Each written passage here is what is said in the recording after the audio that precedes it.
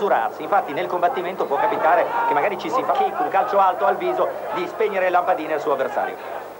Sul quadrato l'arbitro è Igor Vancek, proveniente da Brno, Repubblica Ceca, grande tradizione per questi sport in Olanda, in Italia, anche nei paesi... Trato senza cadere. E intanto riprende il match. A questo punto lentamente alle corde, ma Varga gira, sta giocando con lui come fa il gatto col topo però, eh, in questo momento.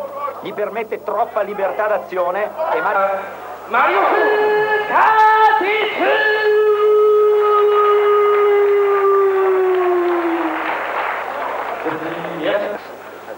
グレーのトランクスマリオス・カーティス。非常にいやこの鼻血、えー、ご覧になって分かるように激しい出血を見ています。どうですかね。小林選手こういう場合鼻の骨に影響があったりするとあのスゴングがなりました赤アンベいやパンチを当てていくカッツ飛び膝。そしてはい。さあギリシャ出身のマリオス・カーティス。詰めてのローキック右いやこのコンビネーション。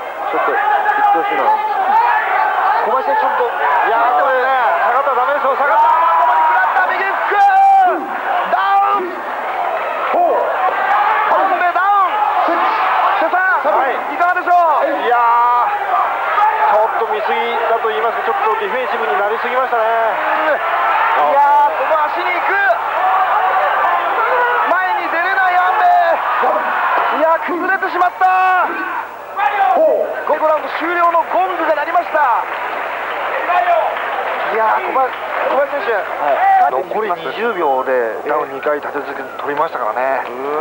これあのマリオスを褒めていいのか。あのララス20秒あのちょっとディフェンシブになってしまったちょっとアンデスのね、はい気持ちがねどうなのか。いや前に前に出ていくファイトがね持ち味のアンベジャッジアタッチ48対47青マリオス・カーティス以上判定3対0をしまして